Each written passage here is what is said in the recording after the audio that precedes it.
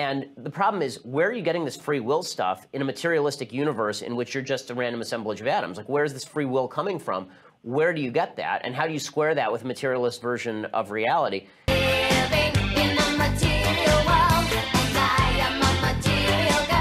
You know, I think that the best proof of God, I've always said this, I think the best proof of God to me is our own, is sort of a Cartesian notion that you are a thinker, you are a being. I can that acknowledge has, myself. right. You, you, are a self, right? You're not just mm-hmm. a random assemblage of stuff that wakes up new every morning, and that if you have a hamburger, you're a different person than you were one minute before because you just put some new stuff in your body, right? right. To hear Ben Shapiro describe the materialist worldview as meaning we are a random assemblage of atoms shows a staggering ignorance of evolution. I can't imagine anybody who understands the fundamentals, the basics of evolution, understanding the processes involved, understanding the history that spans billions of years, using the term random assemblage of atoms. And there's really no excuse for it. Ben Shapiro has talked about reading books by Sam Harris. Well, here's another book that he should read by Richard Dawkins the greatest show on earth. The evidence for evolution. Now, obviously, Dawkins is an outspoken atheist, uh, anti religious. He wrote The God Delusion. But in this book, it is the perspective of a professor of evolutionary biology. It is not an anti religious book. And in fact, in one of the chapters, he presents a what if scenario. If there is a designer to life, it was done more of a chemist than a building construction architect. So it's an excellent book, and in a matter of days, you can gain the greatest perspectives and discoveries of somebody who spent a lifetime in evolutionary biology.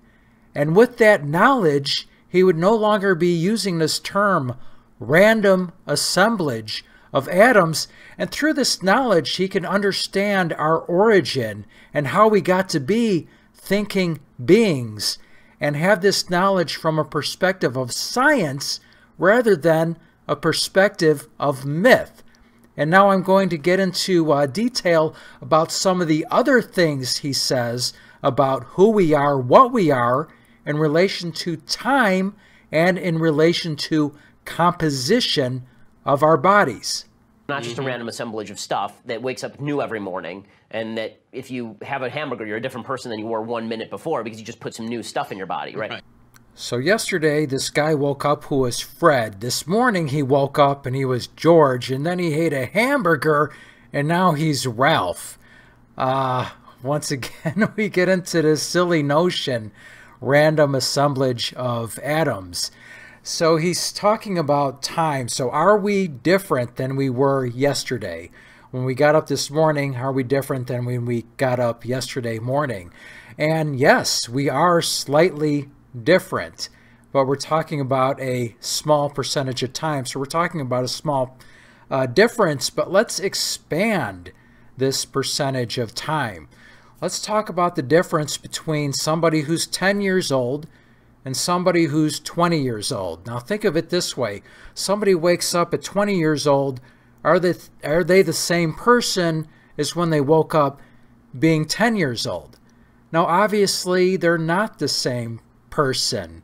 Uh, we're talking about the difference between a boy and a man, a girl and a woman, a 10 year old child, a 20 year old adult.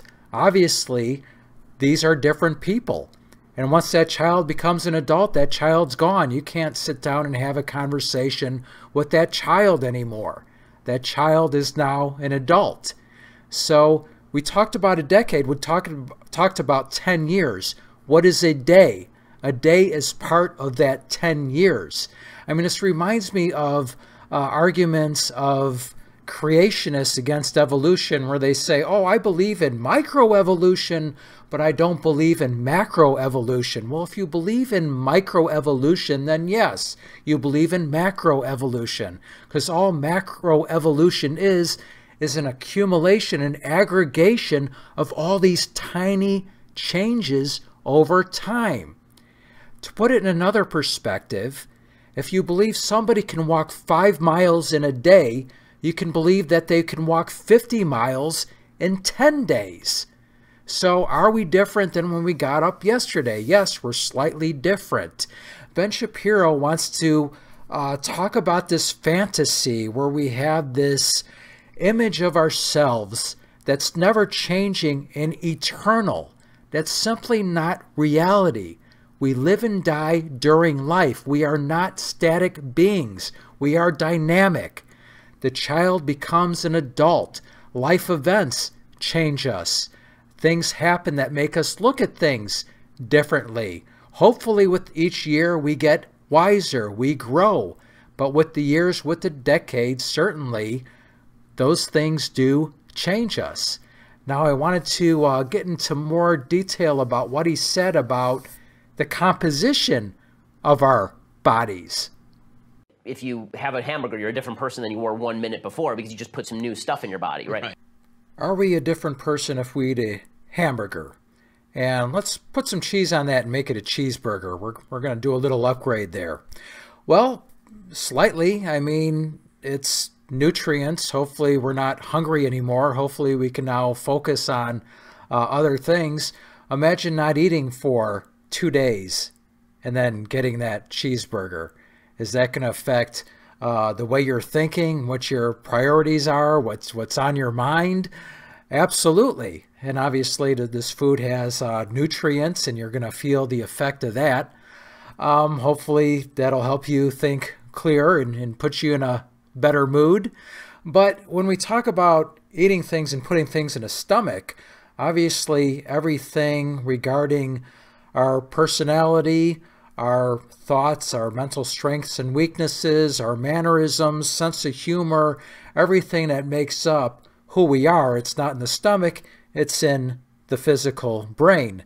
Now, the stomach affects the brain because it breaks things down, and through our blood system, uh, these chemicals are distributed. So, our brain is affected by what we put in the stomach. But let's make a more uh, direct route. So, let's talk about this scenario.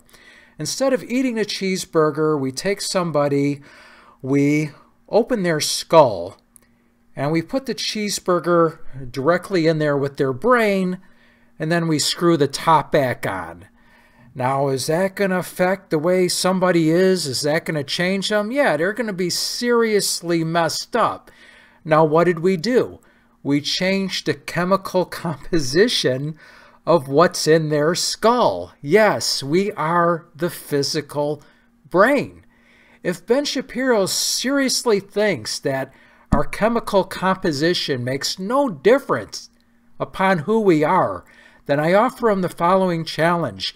Before you go on an interview, before you get in front of a uh, college auditorium, have six beers. You're, all you're doing is changing the chemical composition with, within your body.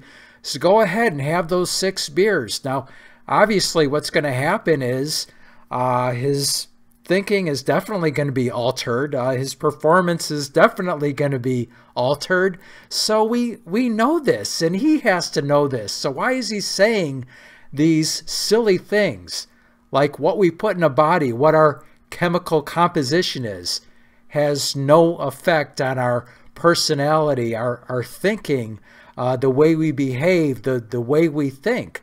We all know that they do. Uh, think about somebody with diabetes where their blood sugar gets way off. Uh, that can completely change them, and they might actually lose control of, of what they're doing and, and lose control of their actions. And then you bring that blood sugar back, and now it's okay. Now they now they've recovered. Now they're they're in control of their actions which is how our court system defines free will, and this is how uh, Ben Shapiro describes free will. So, what was the difference between this person not being in control, not having free will, and then having what our court system would determine as free will? Well, what do we mean by when we say blood sugar level? We're talking about chemicals. We're talking about, once again, composition of the body. We know what happens when there's chemical imbalance within our skulls. We know what happens with brain damage. We have mapped out the areas of the brains that are responsible for different functions, such as motor function, speech, math, all these different things. Realizing that we are the physical brain, which is true. That doesn't mean you're subscribing to some crazy leftist, progressive, liberal party and a bunch of political uh, views and anything like that. It simply means you have the wits to recognize reality and you have enough maturity to accept it. This fantasy world of Ben Shapiro, where we have this static, eternal version of ourselves, is simply not rooted in reality. It simply comes from silly myths, and if people want to subscribe to that, I guess it's fine, but at least learn something about evolution. At least when you're talking about it, at least have a somewhat more intelligent conversation. Now, Ben Shapiro has also tried to say, well, if it's true that we if we are this bag of atoms, if we are this assemblage of atoms, well then it's just like we're a bag of garbage. Well, that is complete nonsense. And I wouldn't say that the uh, Torah, the Old Testament, really gives a lot of value to human life when you read it. So I'm not really sure he should be preaching about the value of human life. But obviously, our lives have value, and as Neil deGrasse Tyson put it, we're related to each other biologically, we're related to the earth chemically, we're related to the universe atomically. We're in the universe, and the universe is within us. So be the best bag of atoms that you can be. This is Jim Wall. Thanks for watching. Until next time. Cisco, do we have to leave all our good friends now? Only until next time, Pancho. Adios, amigos.